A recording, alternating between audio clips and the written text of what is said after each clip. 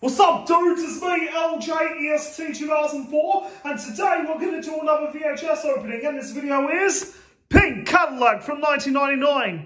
Here's the front, spine, profile picture of Tommy Nowak and the back. Unfortunately guys, Jeremy Snider does not like this movie because of the drug use as well as the scenes of violence. But if any of you guys feel like it or not, I respect your opinion. Here's the tape and let's begin.